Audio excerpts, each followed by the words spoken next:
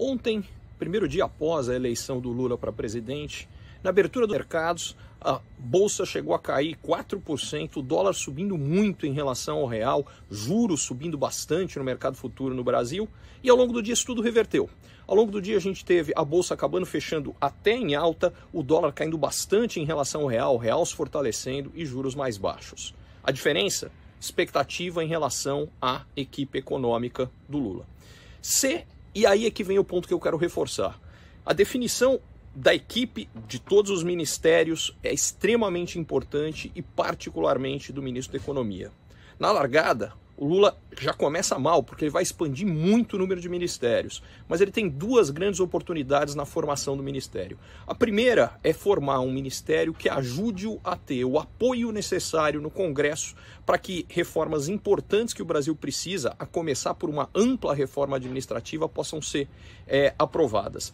Em segundo lugar, ele precisa ter na liderança da economia alguém que gere credibilidade. A diferença entre isso acontecer ou não é gigante. Alguém com credibilidade vai ajudar o Brasil a atrair mais investimentos, essa entrada de capitais vai gerar empregos. Além disso, essa entrada de dólares derruba o dólar no Brasil, o que torna produtos importados mais baratos. E isso, por sua vez, ajuda a manter a tendência recente que nós tivemos de queda de inflação, que é o, o que diferencia o Brasil hoje do resto do mundo. O mundo hoje está lidando com o maior desafio das últimas quatro décadas de controlar a inflação. E o Brasil já fez isso, a inflação já vem caindo no Brasil. Isso precisa continuar.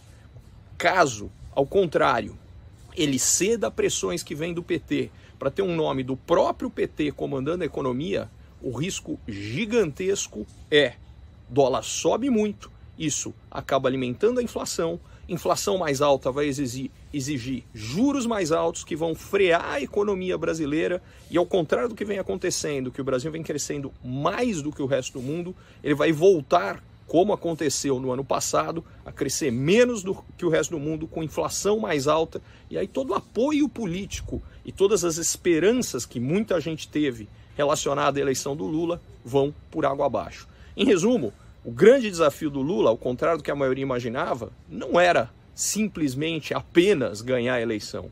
Agora ele precisa montar uma equipe forte que garanta uma política econômica sólida, porque é isso que pode sim garantir um 2023 e próximos anos melhor para o Brasil. Sem isso, vai tudo por água abaixo. E basicamente depende da coragem do Lula de colocar as pessoas certas e não a ceder a pressões partidárias.